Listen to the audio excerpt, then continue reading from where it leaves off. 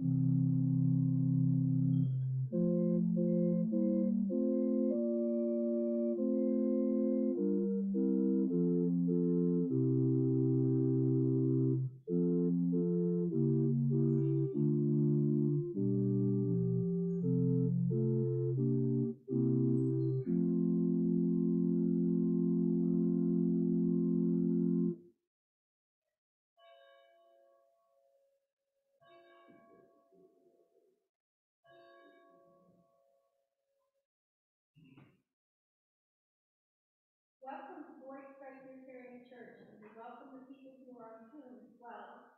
And as we will now light the Christ candle.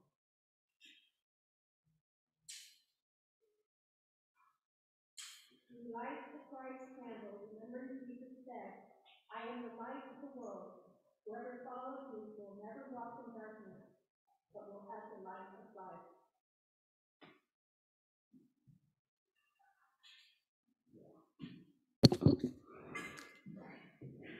Leading us in worship today is Reverend Ruth Everhart. Ruth Everhart is a Presbyterian pastor and the author of three award winning books. When COVID moved up the timeline of her husband's retirement from teaching, they bought a truck camper named Big Blue and went off to explore America. You can learn about her books at rutheverhart.com or read about her Big Blue adventures at rutheverhart.substack.com. And now for some uh, announcements. Uh, I'm the liturgist Cornelia Burr. The song leader today is Nancy Knott. The musician is Sylvia Drake, and the AV support is Joey Bettinger. Uh, The Adult Bible Ship- Fellowship, ABF, meets at 9 a.m. in Pollock Williams Hall. They're studying spiritual gifts. Volunteers are always needed to help with Zoom and to be the liturgists. And the easy way to do this is to go to the Boyd Sign Up Genius to sign up. And we're planning an Easter egg hunt on Saturday, April 9th. And in order to prepare for the Easter egg hunt, we need plastic eggs by March 27th. We'll fill the eggs after worship on April 3rd. Uh, As I said, the Easter egg hunt will be held on Saturday, April 9th, and the rain date is Saturday, April 23rd.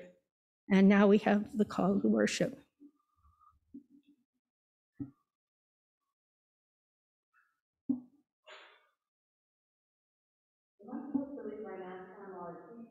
You can take it off.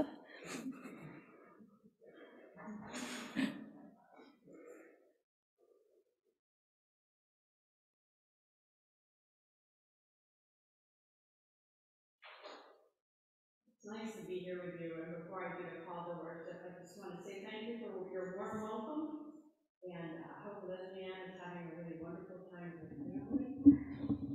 And now, am I on? Okay, good, so everybody can hear? Okay. And she said I had three award-winning books, which is what I said, but I have three books. Two are award-winning, but I say I love them all equally anyway. Um, all right. It's a pleasure to be with you. Let's join in a, in a call to worship. We come because we seek our God. Every morning, every day, every evening, every moment, God is with us. We come because we hunger for Christ. Jesus will feed us with hope, will replace our emptiness with grace, We come because we thirst for the Spirit. who fills our yearning for peace, who ends the drought of justice. Shall we pray? God of steadfast love, imagination of the ages, you offer to all that world where all thirst is quenched, all the hungry are fed, all strangers become family. Jesus, friend of the poor, brainstormer of the kingdom, you dare to envision that world where we do not waste a single person, but offer hope to those in despair, bring light into every shadow, embrace the lonely and the broken. Spirit of discernment, artist of our lives, you inspire us not to toss aside any of the gifts of God, but to offer peace to angry hearts, to share joy with mourners, to welcome those whose ways are not ours. God in community, holy in one, in this time and place, you continue to nurture us with steadfast grace. We praise and thank you in Jesus' name. Amen.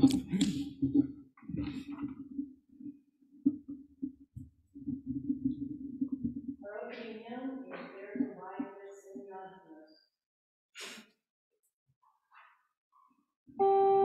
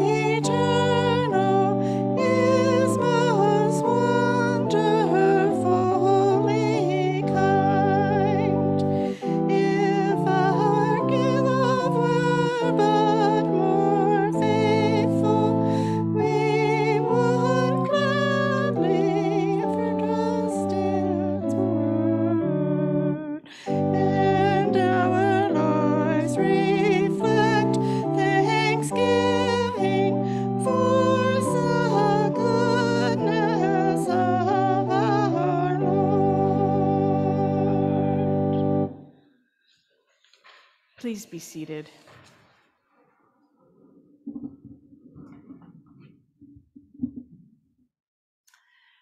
Do you think that because you have spoken hurtfully or failed to help or left God behind as you travel through each day, that God forgets you? God's love is as constant as the sun. God's forgiveness is as sure as the stars in the night sky. Let us join together in the responsive prayer of confession as we pray, saying, The thirsty come, And we offer lead filled water. the hungry come, And we offer a single can from our overflowing pantries. the lonely come, And we cling to our cliques. the broken come, And we hand them an aspirin. the needy come. But we have wasted everything on stuff we do not need.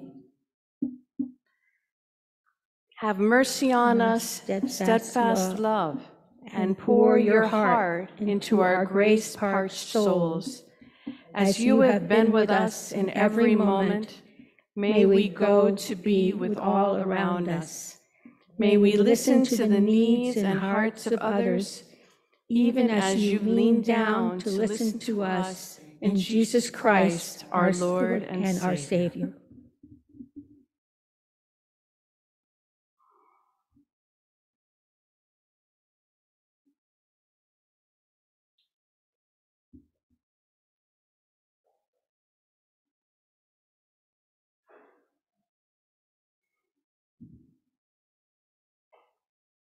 Amen.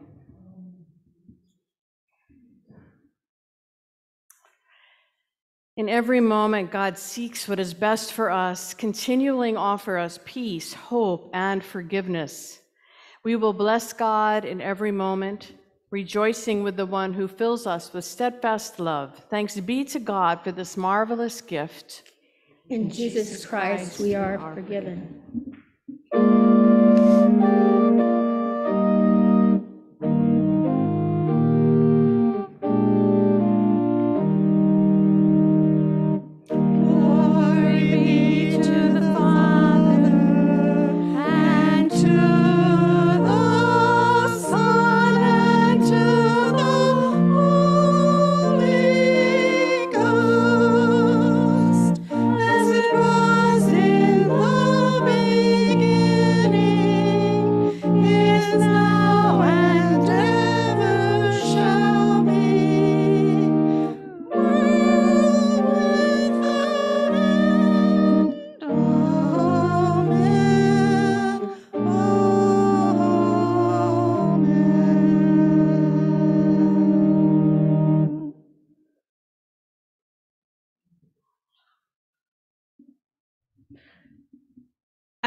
Invite you to join in the prayer of illumination. The words are printed on the screen and printed in the order of worship. We seek you in your word, O God, as though we are searching for water in a dry and weary land. By the power of your Holy Spirit, may this word be to us a rich feast, satisfying the soul. Then with our mouths we will praise you, and with our lives we will bless you, our host and our hope. Amen.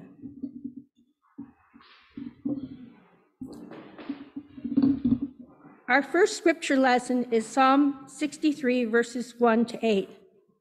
O God, you are my God. I seek you. My soul thirsts for you. My flesh faints for you, as in a dry and weary land where there is no water. So I've looked upon you in the sanctuary, beholding your power and glory. Because your steadfast love is better than my life, my lips will praise you. So I will bless you as long as I live. I will lift up my hands and call on your name. My soul is satisfied as with a rich feast, and my mouth praises you with joyful lips when I think of you on my bed and meditate on you in the watches of the night. For you have been my help, and in the shadow of your wings I sing for joy. My soul clings to you, your right hand upholds me. Ho, everyone thirsts. This is Isaiah 55, 1 to 9. Ho, everyone who thirsts, come to the waters. And you that have no money, come buy and eat. Come buy wine and milk without money and without price. Why do you spend your money for that which is not bread, and your labor for that which does not satisfy? Listen carefully to me and eat what is good, and delight yourselves in rich food. Incline your ear and come to me. Listen so that you may live. I will make with you an everlasting covenant, my steadfast love, for sure for David.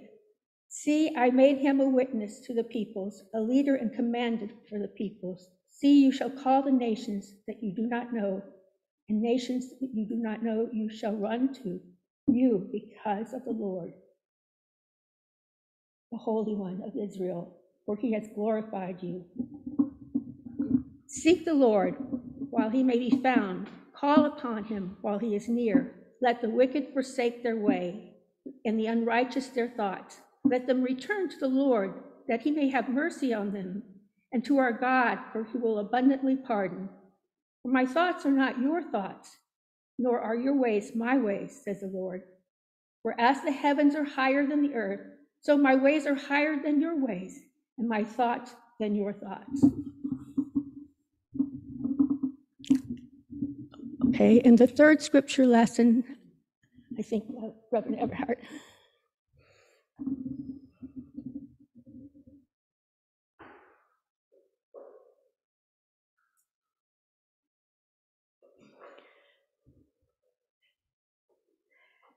Our third scripture lesson is from the Gospel of Luke. It's a parable about a fig tree. So I invite you to bring to mind everything that you know about fig trees. At that time, there were some present who told Jesus about the Galileans whose blood Pilate had mingled with their sacrifices. Jesus asked them, Do you think that because these Galileans suffered in this way, they were worse sinners than all other Galileans? No, I tell you, but unless you repent, you will all perish as they did. Or those 18 who were killed when the Tower of Siloam fell on them. Do you think that they were worse offenders than all the others living in Jerusalem? No, I tell you, but unless you repent, you will all perish just as they did. Then he told this parable A man had a fig tree planted in his vineyard, and he came looking for fruit on it and found none. So he said to the gardener, See here, for three years I have come looking for fruit on this fig tree, and still I find none. Cut it down. Why should I be wasting the soil? The gardener replied, Sir, let it alone for one more year until I dig around it and put manure on it. If it bears fruit next year, well and good, but if not, you can cut it down. This is the word of the Lord. Thanks. Thanks be to God.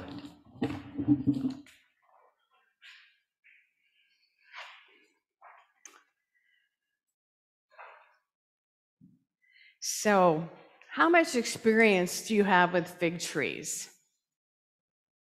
Do any of you have one growing in your garden right presently, or do you want to share any of your experiences with fig trees? Want to say a word? Sure. That's one of my earliest childhood memories because my grandmother had a huge fig tree in her yard in South Carolina and we used to try to climb it. So uh, when I saw the picture, it brought back that memory. So Cornelia says when she saw that picture on the front of the bulletin, it brought back sweet memories of her grandparents' fig tree. I don't know if anybody on Zoom wants to ch- com- comment in the chat. Tell them to pop in, and, and Joey will uh, inform us. Um, I have a fig tree growing in my yard. It hasn't bloomed yet this year, and last year I think we got four or five figs from it. We we have not been a successful fig tree owner ourselves. Yeah, yeah. Last Sunday, uh, we talked about blessing and judgment and how those two things are inside out from each other. Maybe some of you were able to join us on Zoom when it was snowing last Sunday, remember? And um, this notion that blessing and judgment, which we sometimes think of as polar opposites, they're more like the two sides of the same coin. All right? Because they both lead us towards the throne of God. And I think that today's text follows on that same thought so beautifully that I wanted to kind of hook them together in the two Sundays we spent together. And today's text really illustrates that dynamic with this really ordinary thing, a fig tree. A fig tree might seem a little bit exotic to us living here in, well, I was going to say in Virginia, but now we're in Maryland. I live in Virginia. And, you know, figs aren't that common, fresh figs. If we were in California or in the Middle East, a fig tree would be really ordinary and really common. And people had them everywhere. And so the question is is this particular fig tree going to experience blessing or judgment? Is it going to experience blessing or cursing? Is it going to thrive and bear fruit or is it going to be cut down?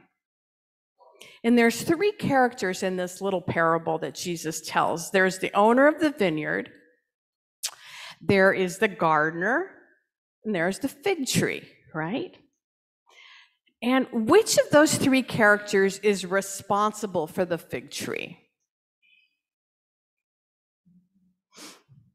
Think about it.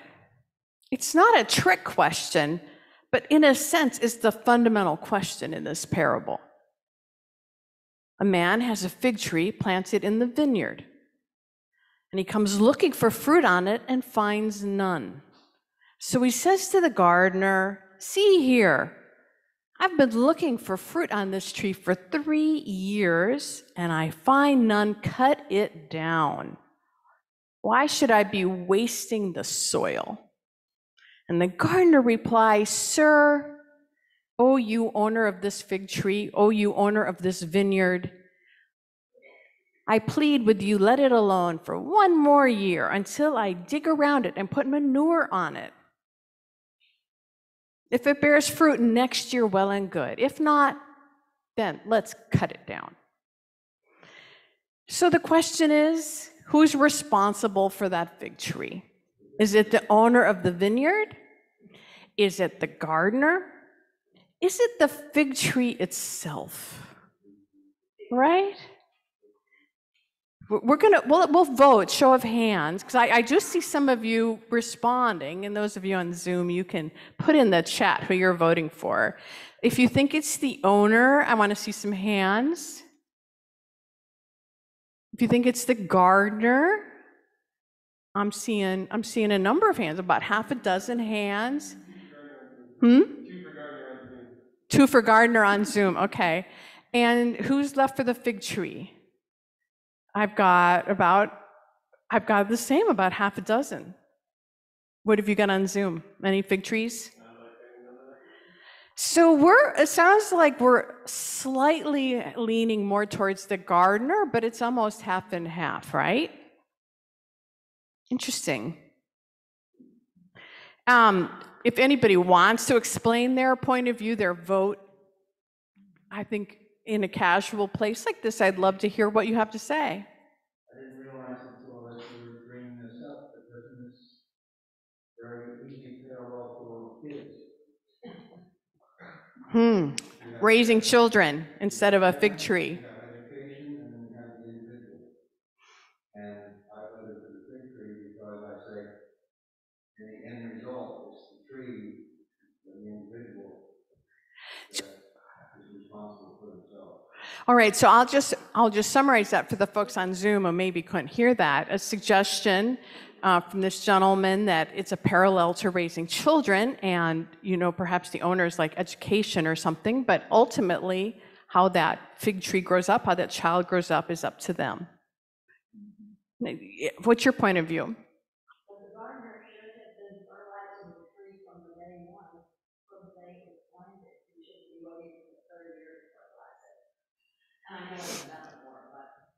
So here's, here, here's a, a gentlewoman who's suggesting maybe, maybe, you know, the, the gardener hasn't been on the spot with fertilizing for the past three years. I do think fig trees take a little while to produce. I don't know if anybody here is a gardener. I am not a gardener. I tell you what, I served a rural church with a congregation full of farmers in Illinois for six years. My gosh, you know how many of these parables are about growing things? And they knew so much more about growing things than I did. It was kind of humorous. Anyway, it's never. Okay, who, who was that who said that? Becky, okay. Yeah, Betsy, okay. Well, thank you for sharing your thoughts. And I and I and I love that we kind of had two different ways of looking at it because I think that it's not a simple thing. And if you've ever spent any time with Jesus and his parables, that's really not a surprise, is it? If you feel like the parable, well, of course this is what it means. My friend, you probably have it wrong. Because the parables are intended to be enigmatic sayings and stories that are very deep. And you can meditate on them and you can ponder them and you can milk new lessons from them at various times in your life. So, all these parables, they're short, they're perplexing, and they invite us to consider how do I fit into this parable? Who am I in this parable? Am I most like the vineyard owner, the owner of the fig tree? Am I most like the gardener? Or am I most like the fig tree itself? Now, which point of view is the easiest? You know, which one gets off scot free? It seems to be. Nobody has kind of put a finger on the owner of the vineyard, right? The owner of the fig tree. Nobody's ever said they're responsible for the fig tree. Now, who do we think that the owner of the vineyard is in this parable? I would guess that it is the divine one, the one who created the vineyard. The owner of the, of the vineyard in many parables is God. God the creator, right? The one who rules over all things, the owner of the kingdom. So yeah, we probably are not the owner of the vineyard in the parable. That's the probably the one point of view that we can say, yep, that's not us. Then we're either the gardener or the fig tree. Now, you could think that the gardener is the one who's kind of between the owner and the fig tree. So maybe this represents Jesus Christ. One thing I've noticed about scripture for the 30 years I've been in ministry is that we have this default when we read scripture of putting ourselves in Jesus' place. We don't do it because we're obnoxious. We don't do it because we even mean to. It's like this, just this thing that happens. We love Jesus. We read about Jesus. In a sense, the scriptures from Jesus' point of view, and we just kind of slide ourselves into it without really thinking about it. We identify with Him. But the truth is, when you look at this window, we're not Jesus in Gethsemane. We're the disciples who went and fell asleep on the watch, right? That's who we are. And so it's always really fruitful to think of where I fit and to have some humility about that. The chance is we're really not even the gardener here. We're probably the fig tree, right? Now, I don't know how that strikes you, but it makes me a little bit uncomfortable because I've just been told that maybe I'm a fig tree that hasn't produced any fruit in three years. And I go, yeah, maybe there's something truthful about that. Now, if you were going to bet on this story, if you, would you bet for or against the fig tree? You know, if you had to put money on this on this story, I mean, we could vote again. I would I hope that the tree is blessed. I hope that, you know, in a year from now, with some manure around it, and it's going to be just, you know, loaded down with figs. Those luscious, delicious figs. I hope its branches are just so heavy with figs that they droop to the ground. But I don't think it's a foregone conclusion that that's going to be the end of the story. I think it could be that in a year, it's just got maybe pff, a couple mediocre figs. I mean, that's very possible. That's my experience with fig trees. So think about this parable from all those points of view. Just let it kind of sit in you this whole week ahead. I mean, that's how we, we live with Scripture, right? We go, what is this? What is this telling me that I'm missing? But we also, I've skipped the whole context, and there are some really interesting circumstances. I mean, did you notice when Jesus tells this parable? His disciples have just given him news about a great tragedy that has killed many people. Innocent people have died. There were some present who told Jesus about the Galileans whose blood Pilate had mingled with their sacrifices. In other words, not only have they died, they have been slaughtered. Yes, I'm sure that images of Ukraine just popped into your head, right? Jesus asked them, Do you think because these Galileans suffered in this way that they were worse sinners than all the other Galileans? No, I tell you. But unless you repent, you will all perish as they did. Or, and then just in case we missed it, Jesus goes on, he repeats the same lesson. Or those 18 who were killed when the Tower of Siloam fell on them, which was another great tragedy that had befallen um, some of the Israelites. Do you think that they were worse offenders than all the others living in Jerusalem? No, I tell you, but unless you repent, you will all perish just as they did. The exact same phrase used twice. So again, there's blessings and there's curses. And what stands between those two things? It seems to be repentance. Unless you repent, you will all perish as they did. Jesus says it twice in the exact same words. Now, that brings to mind the problem of evil, the problem of suffering. It's enigmatic. Does it mean that the ones who faced these grim deaths had not repented? Or does it mean that misfortune can, can befall anyone? So we need to be repented? We need to be ready to die? And why does this conversation segue into the story about the fig tree? What's the, what's the connection? It seems to me that this fig tree has a decision to make, a choice. It can bear fruit or not.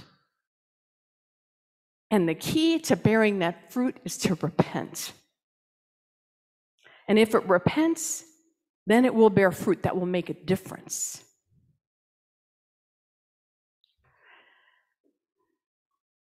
Notice that the gardener is rooting for the fig tree. I mean, literally, it gives you a sense of what rooting means, right? He's going to put manure around the roots. He's going, he's going to nurture this fig tree. So if, if the gardener is Jesus, it's pretty clear whose side Jesus is on. He wants this tree to flourish, but he also recognizes, you know what? It's up to the tree. And this, this, this little turning point about repentance is just enough to make us all go, huh, what does repentance have to do with bearing fruit? But in this parable, they are absolutely connected. So,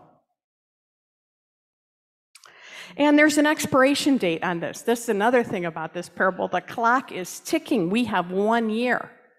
Friends, we have one year to bear fruit.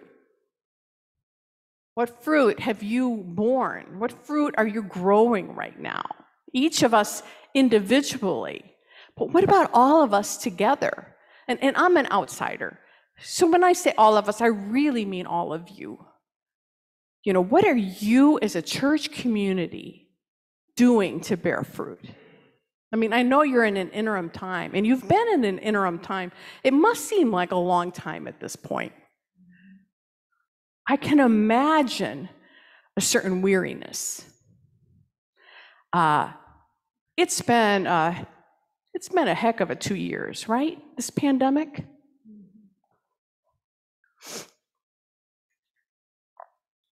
What fruit is this church growing in this in between time? I just want to say one thing about being where you are.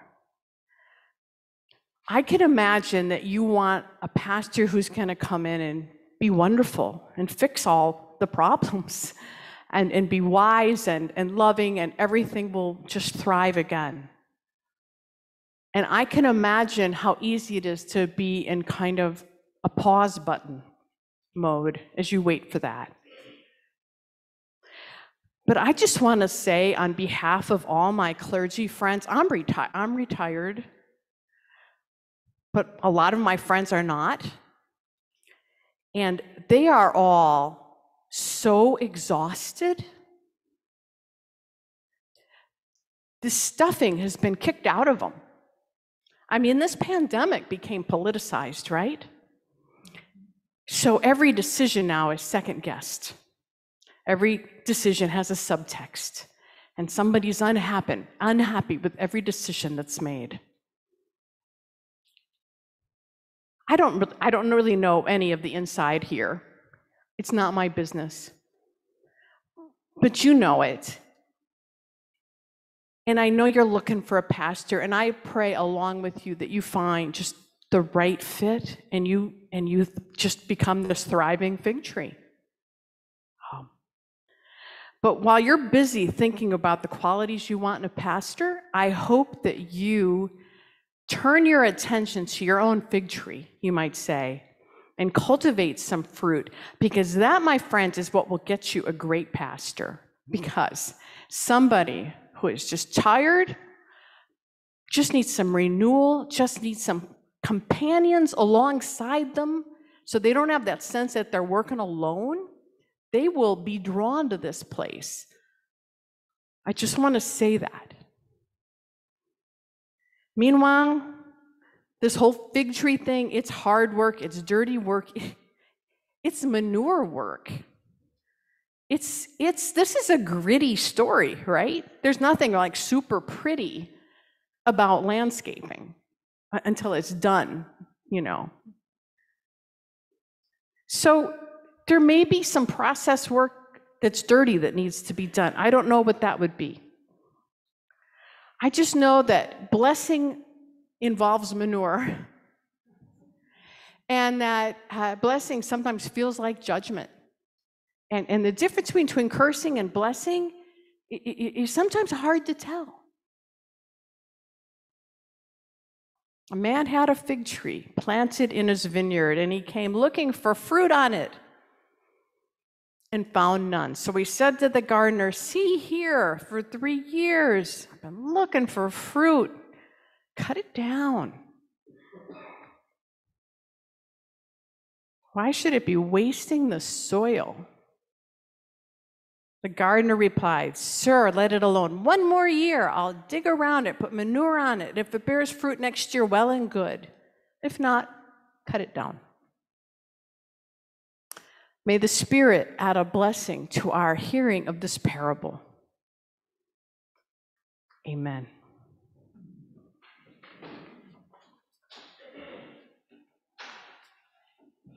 My goodness. Our hymn is Amazing Grace, How Sweet the Sound. And we're going to sing all five verses. Would you please stand?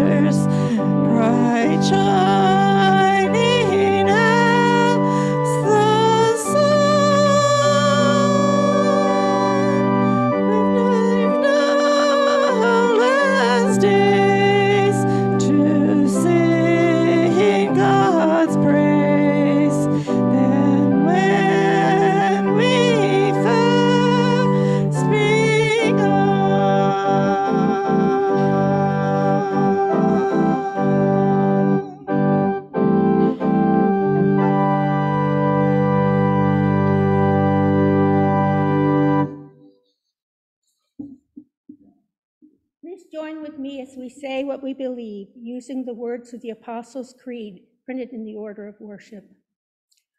I believe in God the Father Almighty, maker of heaven and earth, and in Jesus Christ, his only Son, our Lord, who was conceived by the Holy Ghost, born of the Virgin Mary, suffered under Pontius Pilate, was crucified, dead, and buried.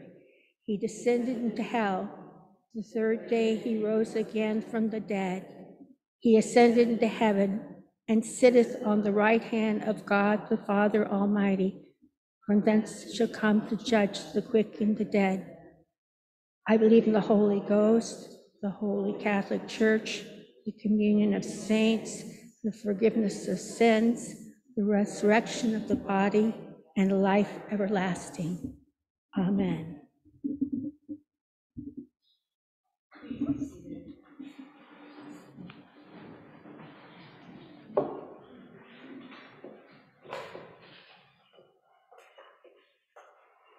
I know you uh, just had your Sunday school class, and I heard you uh, doing your intercessory prayers for each other, and I know that you have prayer concerns listed in the bulletin.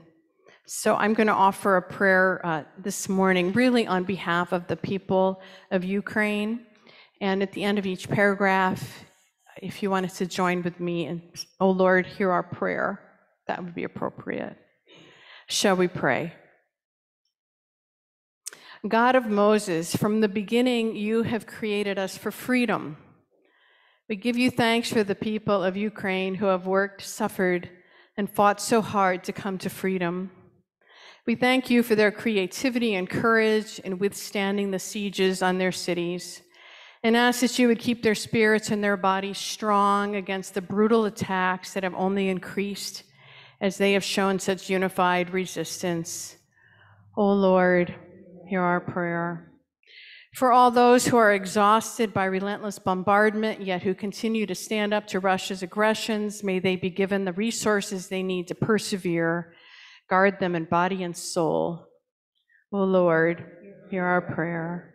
For President Zelensky, who has shown such dauntless leadership, protect him and keep your spirit aflame in him that he may continue to inspire and encourage his people. You who heard the cries of Israel and came to liberate them, hear our cries for the people of Ukraine. O Lord, hear our prayer.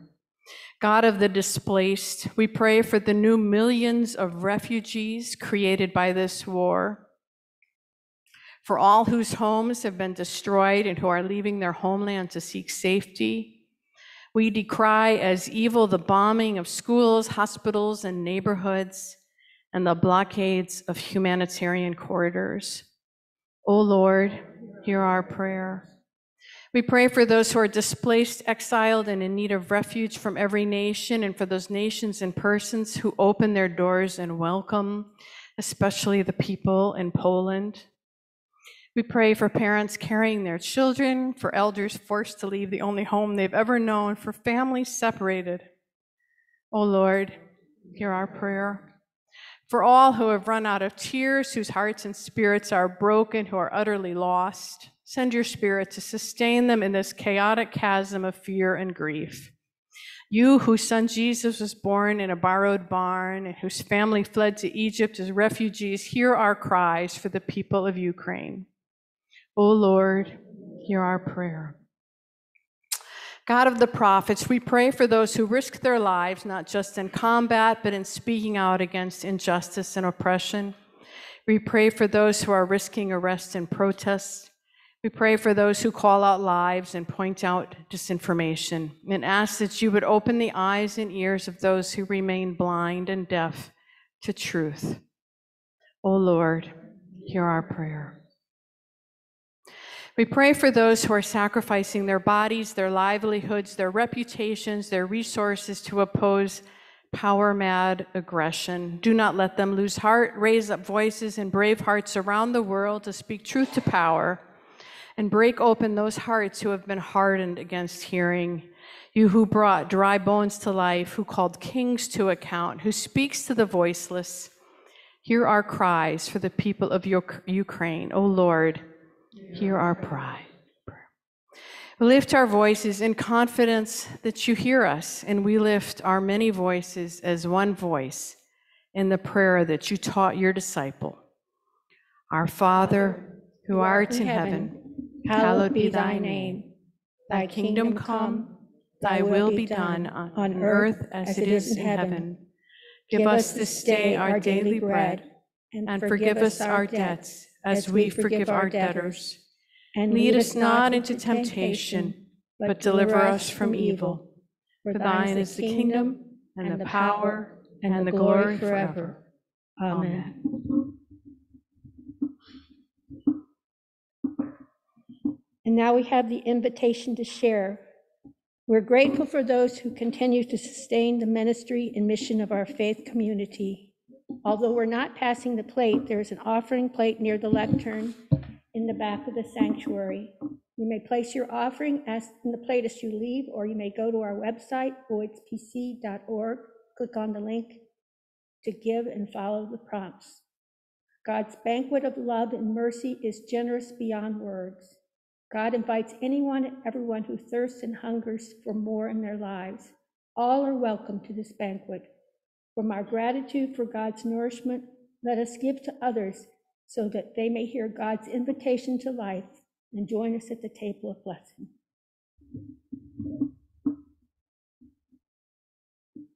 In humble gratitude, let us reflect on God's goodness and provision as we listen to Sylvia Drake play the offertory, followed by the doxology.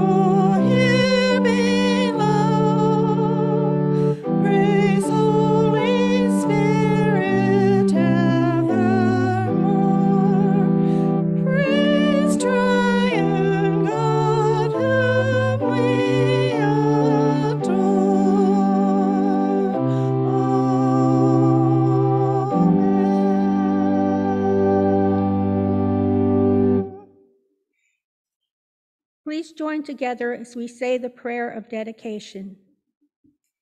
Having been blessed by you, loving God, we will not waste our gifts, but offer them back to you, so the parched throats might be soothed by your grace, the hungry feed on your bounty, and the stranger welcome his family who have been away for too long.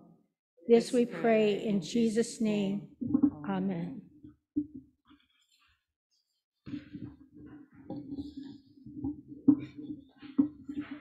Our closing hymn is God of Grace and God of Glory, verses 1, 3, and 4. The words are on the screen and printed in the order of worship.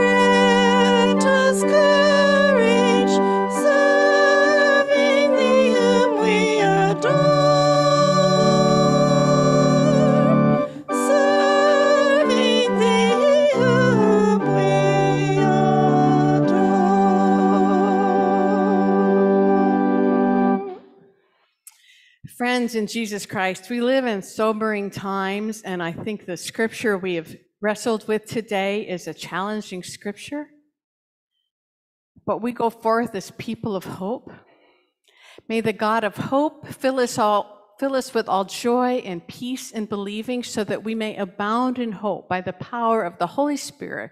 Go forth uh, knowing that you are loved and that you are here to serve. In Jesus' name, amen.